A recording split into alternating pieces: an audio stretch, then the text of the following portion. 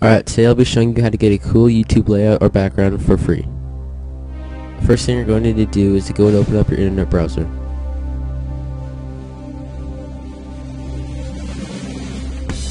Once you've got that all opened up, go to www.ytlayouts.net.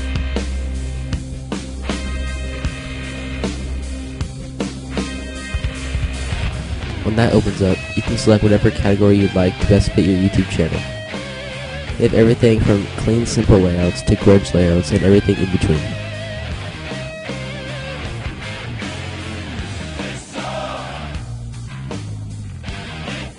After you select the category, select the layout you like for your channel and click on it.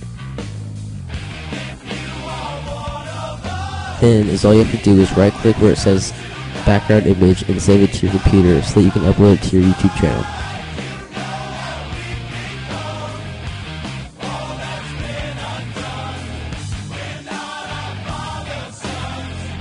Done uploading the background image to your YouTube channel, just copy all the box properties settings so that your YouTube channel will look just like the picture you want. Just save changes and update your profile, and that's how you get a cool YouTube layout or background for your YouTube channel.